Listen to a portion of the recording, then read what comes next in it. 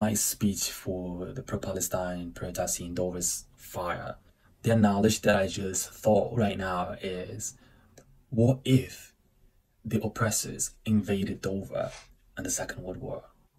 What could have happened to the UK, to Dover, right?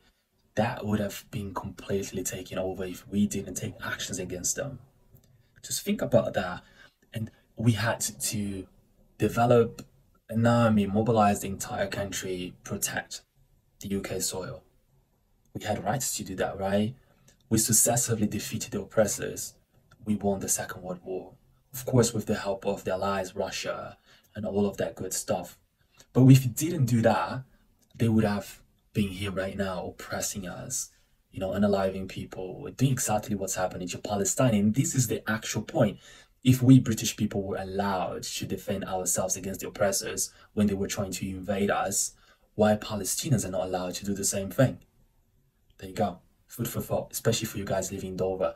Come to my peaceful protest here at Market Square Saturday at noon to 2 p.m. I'm looking forward to see you there. I want to help you to think. Remember,